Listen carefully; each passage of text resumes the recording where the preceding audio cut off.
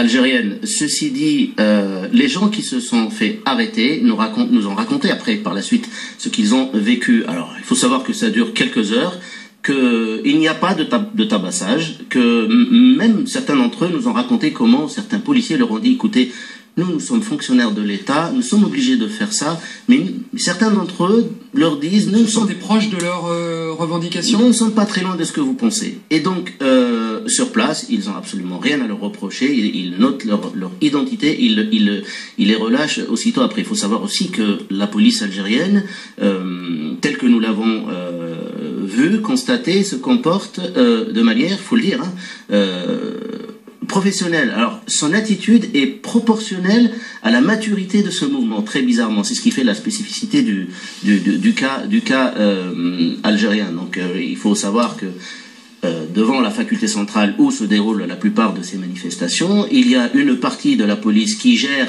la circulation, euh, de manière à éviter les, les, les, donc les embouteillages, une partie qui sépare ceux qui n'ont pas forcément envie de, mm. de faire partie, d'assister de, de, ou, ou, de manifester, et une partie effectivement qui est chargée de faire des clés de bras aux manifestants pour les embarquer dans les, dans les fourgons.